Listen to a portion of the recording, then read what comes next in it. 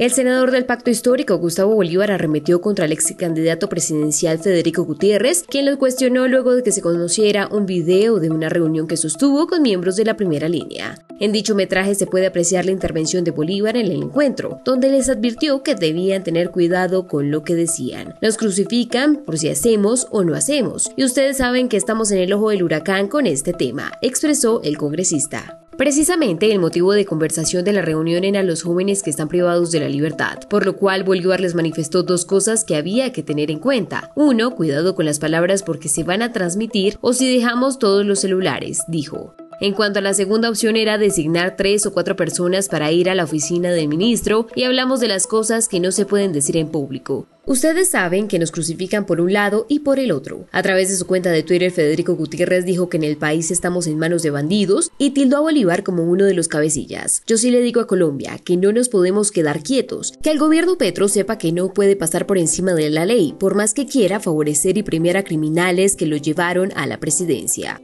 Las palabras de Gutiérrez no gustaron al militante del partido de gobierno, quien aprovechó para recordarle su derrota en los pasados comicios. Oye, Fico, si soy bandido por reunirme públicamente con jóvenes de primera línea y sus abogados, buscando soluciones al conflicto social que vive Colombia, ¿qué es usted que pactó con sicarios y narcotraficantes de la oficina de Envigado? Ya veo por qué no pasó ni a segunda vuelta, señaló. El exalcalde de Medellín no solo no se quedó callado y le contestó a Gustavo Bolívar, a quien le pidió explicaciones sobre qué es lo que no se puede decir en público sobre sus acuerdos con la primera línea. Lo otro es la campaña sucia que ustedes diseñaron en campaña para afectarme y darle vuelta a las elecciones. Los Petro videos nos vemos ante la justicia, agregó. Cabe mencionar que Federico Gutiérrez no fue el único en arremeter contra el congresista. La senadora María Fernanda Cabal escribió un trino etiquetando a la Fiscalía General de la Nación, la Procuraduría General de la Nación y la Policía Nacional.